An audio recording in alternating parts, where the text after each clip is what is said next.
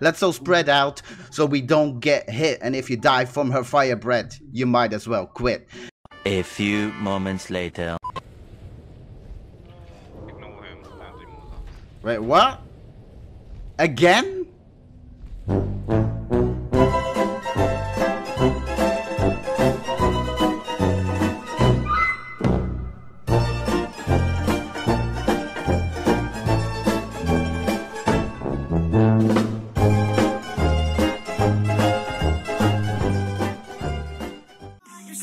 Of your life. Don't make me tell you again.